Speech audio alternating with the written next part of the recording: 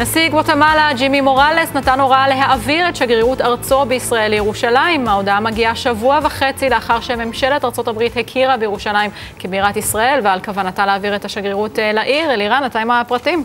האמת, לא החלטה כזאת מפתיעה. גואטמלה כבר בכ"ט בנובמבר תמכה בישראל בתוכנית החלוקה, בהקמת אה, מדינת ישראל. אה, והמשיכה לתמוך בישראל ולשמור איתה על יחסים אה, קרובים והדוקים בכמה וכמה מישורים, גם במישורים הכלכליים, מסחריים, במרוצת השנים. גם השגרירות הייתה בעבר בירושלים, אגב, ליטל, ועכשיו היא תחזור לשם. זו בשורה משמחת. אני יכול להגיד לך שיש לפחות עוד עשר מדינות שישראל נמצאת איתן במגעים מתקדמים במטרה להעביר את השגרירויות שלהן גם לירושלים. שמענו על אה, רומניה, הונדורס על הפרק. יש עוד כמה מדינות שמביעות התעניינות, בעיקר משתי יבשות, אפריקה ואמריקה הלטינית, שתי יבשות שנתניהו בשנתיים האחרונות הצליח באמת להיכנס ולהדק את היחסים בהם אה, בצורה מאוד אה, מעוררת הערכה. אז אלה בשורות טובות. נשמע בוודאי עוד כמה מדינות בעקבות טראמפ שילכו אה, בדרך לירושלים, וזה בהחלט מעודד ומשמח. כן, בוא נשמע באמת מה אמר היום ראש הממשלה בנימין נתניהו.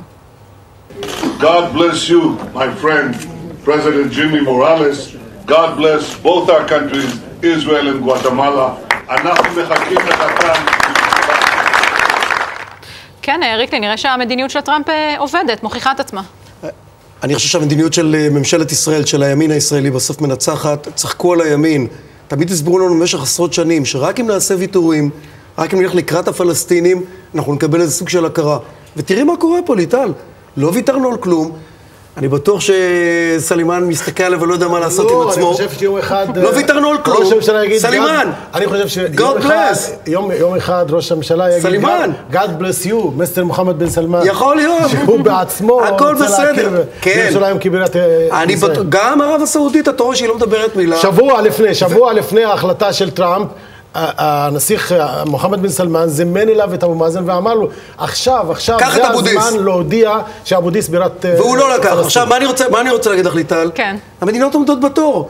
כלומר, מה שמעניין את מדינות העולם זה כלכלה ועוצמה. וכסף. ישראל מתקדמת. כלכלה, הנגזרת שלה זה כסף בדיוק. ישראל מצליחה, המדינות עומדות בתור.